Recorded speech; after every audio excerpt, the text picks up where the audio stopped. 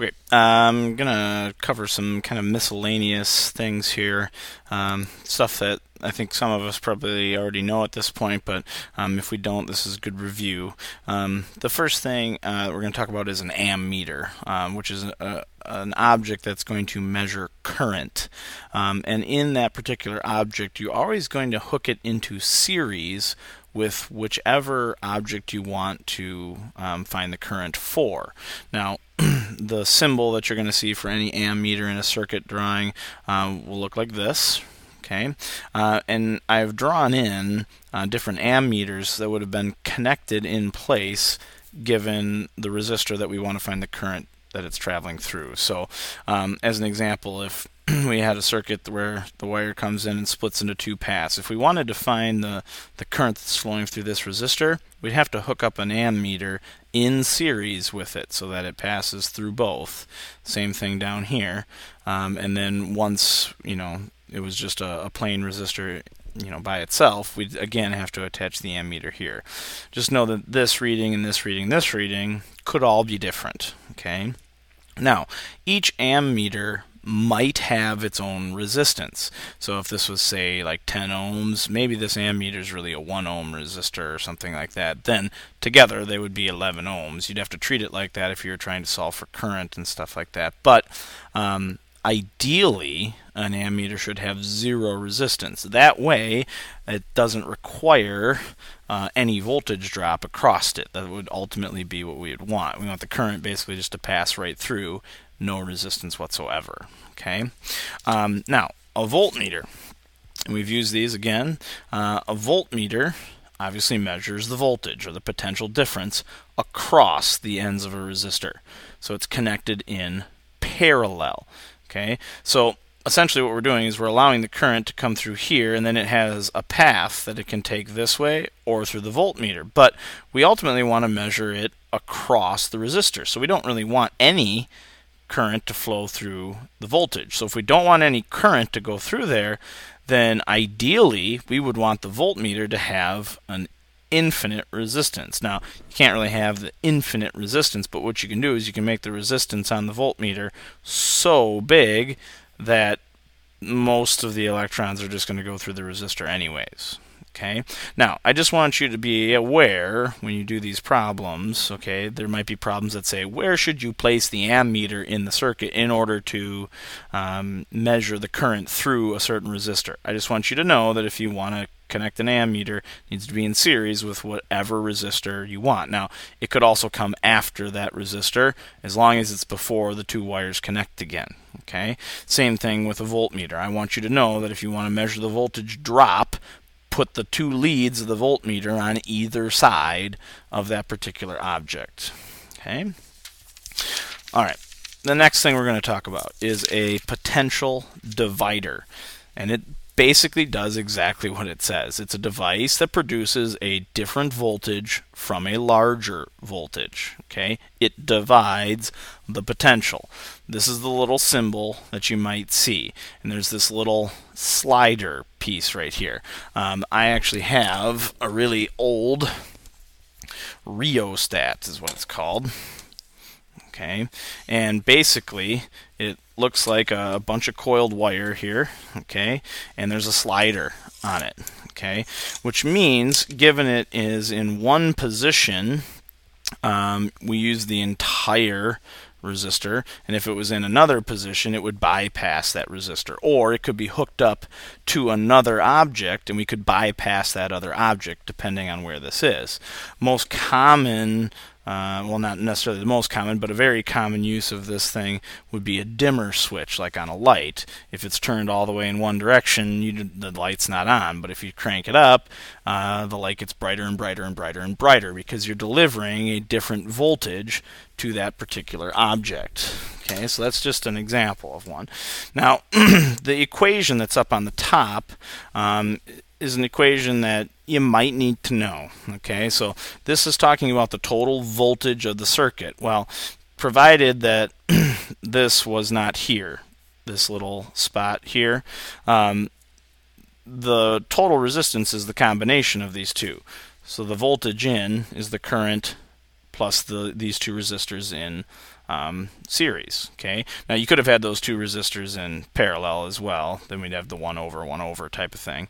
Okay. Um, but here, the voltage that you get out, if you take the voltage across this resistor, is only the voltage across that resistor. So the V out is simply the current times the resistor 2. So the current is going to be the same in two things that are in series.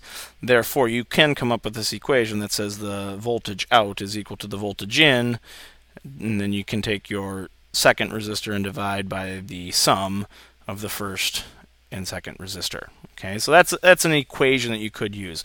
More often than not, I've seen it in problems where it's not asking for those actual values, it's asking what would happen if we did this and this and this. So I want to give you an example.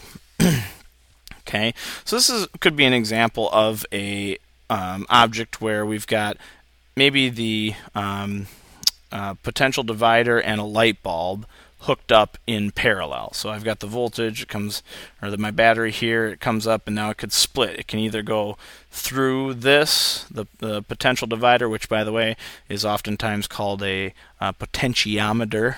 Okay, um, it can go through here, or the current could pass through the light bulb. Okay, um, but there's a little slider that we can move back and forth. Now, if the slider was in this position, if we just follow where the current would go, current would be flowing and it would have options. It can either go this way or it can come over here on this wire. But if I make a connection here, then that's going to completely bypass this light bulb. Okay, because it'll take the path of least resistance, which a bare wire is least or has a smaller resistance than the light bulb. So the current would just come right through here and travel right back to this and go only through the potential divider. But if I move the slider over here, okay, now the current will flow through the light bulb down to here and now out and around.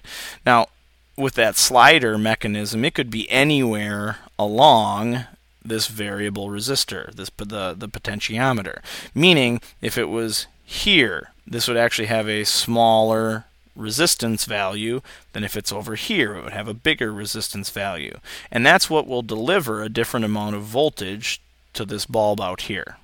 Okay, so another example drawn like this. Okay, if I had the little slider here connected to the light bulb, if I bring this slider over here, okay, it would actually connect now to the light bulb. So you'd have this resistor and this light bulb in parallel. But if I move the slider over here to this spot, then again, here's the current. It comes all the way through and then, oh, I'm sorry, I have that backwards. If I move it here, then it'll go through the light bulb. No, it won't. It'll go right here. My bad. Double take.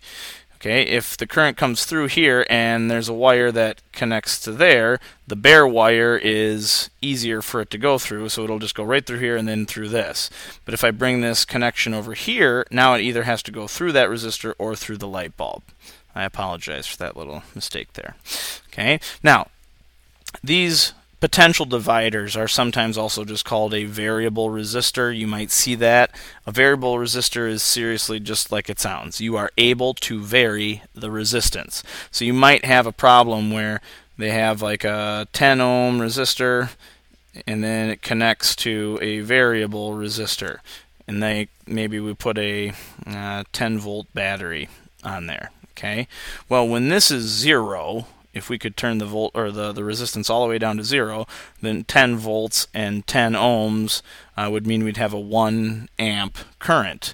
But if this had a maximum of 10 ohms, then we could have a, a mac or a, a, smallest amount of current would be 10 and 10 is 20 ohms, and 10 volts that'd be half an amp.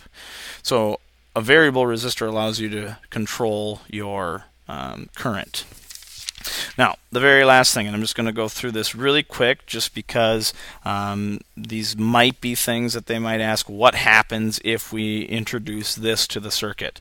These are some other types of sensors. You might run into something called a thermistor, uh, which acts like this. Uh, the resistance increases or decreases as the temperature increases. Um, this is kind of what happens in um, fire alarms. Okay, if it gets really hot, um, sometimes if the resistance decreases to a certain point, it triggers the actual alarm. Now the little symbol looks like this. It looks like a resistor, and then there's a little line with a little end piece on here. Okay, uh, you can have a light sensor, uh, which if you shine light on it, it releases more charge, which in turn lowers the resistance. And generally, the little symbol looks like this. These are supposed to be the photons striking that particular um, face. And then the last one is a strain gauge. A strain gauge is oftentimes used in, say, like bridge construction, because if the bridge starts to give, they want to know so that they can try to fix it prior to it collapsing. So in, in a strain gauge, there's a thin metal wire. Um, as it bows, it'll start stretching the wire. If you stretch the wire, it's going to increase the length while decreasing the cross sectional area.